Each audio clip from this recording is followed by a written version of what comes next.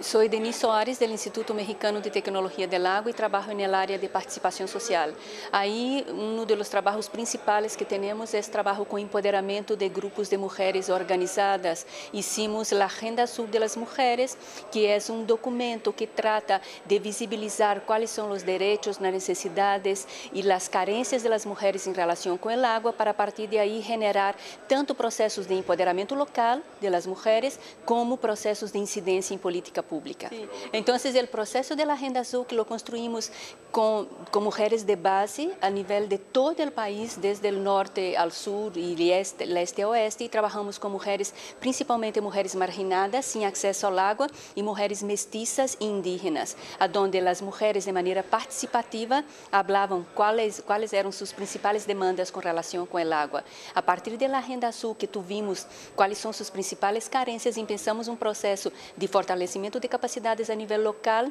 e construímos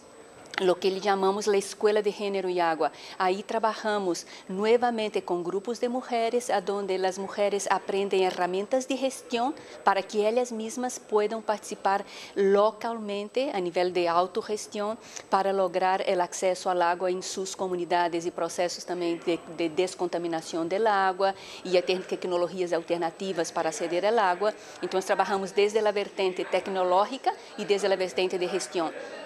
E incidência em políticas públicas, estamos tratando de, de trabalhar de maneira cercana com os ayuntamientos municipais, com os, com os institutos estatais e municipais de las mujeres, para que realmente as mulheres possam ter um papel mais ativo na gestão da água, porque em México é uma gestão muito masculinizada e muito excluyente de los interesses de las mujeres. Há um exemplo em um estado de Chiapas, que é um estado eminentemente indígena, situado ao sul do país, há mil comitês de água potável e desses mil, só 10 têm presença feminina sendo que são as mulheres as principais responsáveis do manejo da água a nível doméstico,